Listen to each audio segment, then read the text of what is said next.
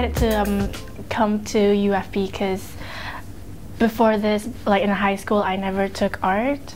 So I wanted like a, a creative background before I do like interior design. I wanted to strengthen my portfolio so it would be acceptable to, uh, to go to uni with it. Uh, to also develop my, um, my skills and my techniques. So I just wanted a course that would prepare me properly for the practical as well as the theoretical sides of architecture.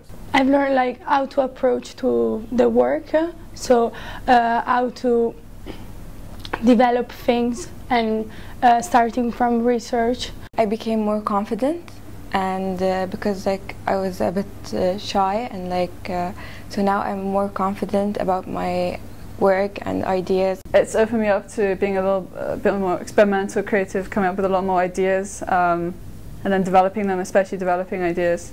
You learn to communicate well with people, you learn to present your ideas in a very formal way so that people can understand you. Before I like came to the school, I had no personal statement. I didn't even know what university I was going to go to. So it's, the support has been really good, yeah. We, ha we have to go to interviews, so they help me prepare for the interview and how to talk about my portfolio. And I think uh, I couldn't have received any better support for university. My tutors are really friendly. They're always there. They're like, uh, they treat us like family. What I like is that they focused on each person and uh, they really focused on the abilities and the potential for each person. You know, it wasn't as easy as you go up to them and you tell them, oh, what should I do? And they just uh, give you oh, all this advice. You kind of have a, more of like a conversation and you present ideas and they talk to you about maybe why you came up there and it makes you think more and then you can independently develop it. It's a really good atmosphere, like it's comfortable and it's like friendly and like sociable, but at the same time, like you know you have to do the work and yeah, you get it done. The environment is just, it keeps you going.